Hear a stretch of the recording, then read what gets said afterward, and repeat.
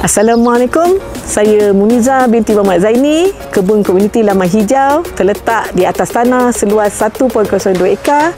Kami menyewa tanah Majlis Agama Islam Selangor. Lokasi kebun kami bersebelahan dengan Pasir Pemai Putra. Kebun ini ditubuhkan secara rasminya pada 1 hari bulan Jun tahun 2020 dengan kehalian selamai 15 orang. Terdiri daripada penduduk-penduduk Pasapuri Permai Putra.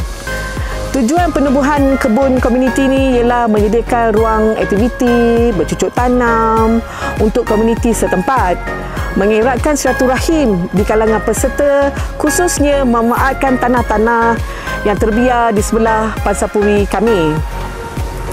Komuniti ini sangat aktif melaksanakan gotong royong, membersihkan kawasan, menyemaikan dan menuaikan hasil-hasil yang terdapat.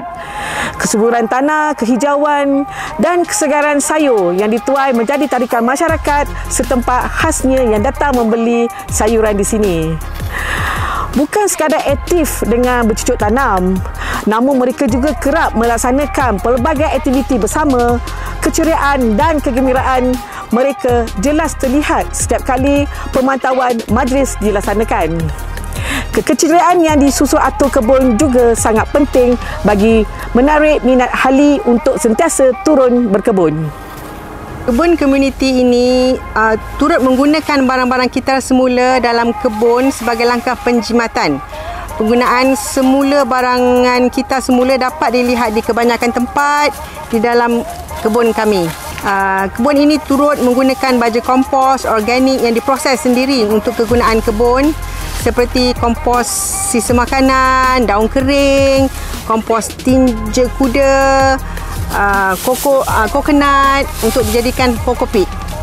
Sistem penggunaan air hujan sepah turut dilaksanakan bagi penjimatan air. Uh, kami juga menggunakan daun ketapang bagi menetralkan pH air. Uh, sebenarnya inovasi ini bermula apabila Malaysia mula digembar-gemburkan dengan masalah kekurangan beras iaitu makanan ruji rakyat Malaysia yang uh, dikatakan agak kritikal. Uh, walaupun kita ni masih mampu lagi untuk menampung permintaan rakyat. Jadi ketika ini isu kekurangan beras tempatan ni hangat dikatakan masyarakat.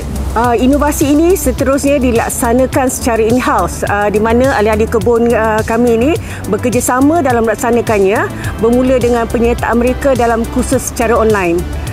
Uh, seterusnya hasil daripada perbincangan dengan pihak Mardi Uh, Mardi juga telah setuju uh, untuk membekalkan padi jenis MR269. Pilot projek uh, kebun kami ini mensasarkan ke, kepada golongan B40 di mana kawasan pentadbiran Majlis Perbandaran Ampang Jaya MPAJ khususnya lah dan inovasi penanaman padi organik tanpa pengairan ini dihasilkan bagi memudahkan penduduk dan juga masyarakat setempat turut, turut sama untuk mengusahakannya.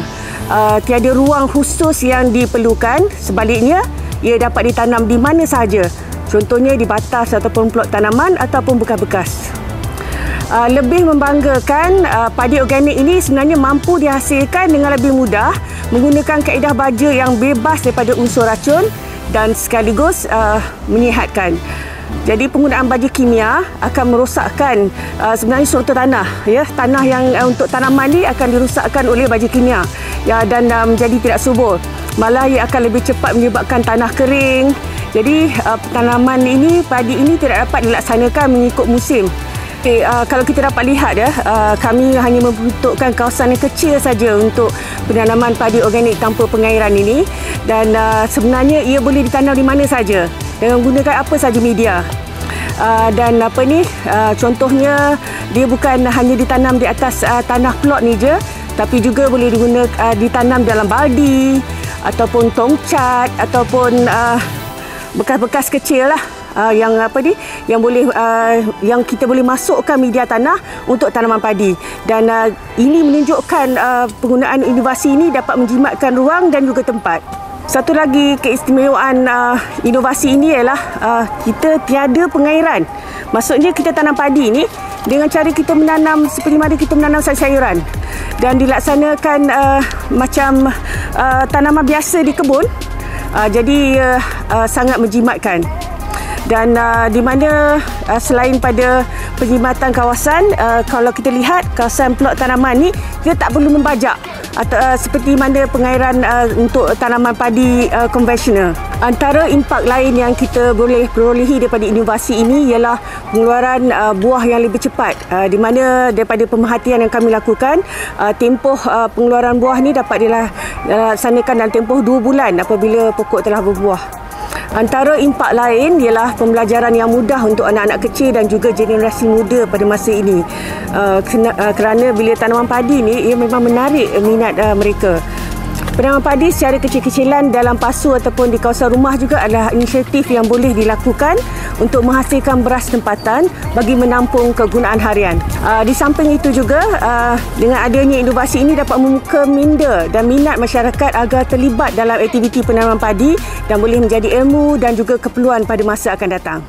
Kami nampak pokok lebih segar, lebih sihat, lebih subur. Uh, walaupun kami langsung tak ada pakai apa-apa racun, tapi pokok memanglah nampaklah lebih tahan lasak.